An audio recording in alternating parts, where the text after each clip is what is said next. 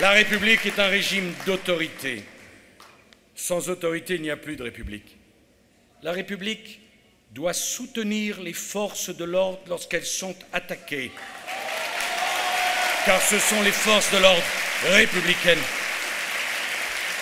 La République ne peut pas accepter les territoires interdits et les voyous qui se croient tout permis. Le mot République signifie le refus de la mise en scène de l'impuissance de la politique telle que les Français l'ont vue hier soir à la télévision.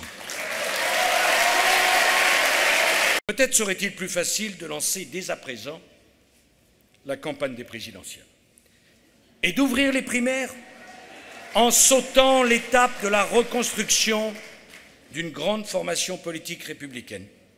Je vous le dis avec toute l'expérience qui est la mienne, ce serait se résigner à bâtir sur un champ de ruines, car c'est l'issue fatale à laquelle serait condamnée notre famille politique déchirée par des ambitions contradictoires.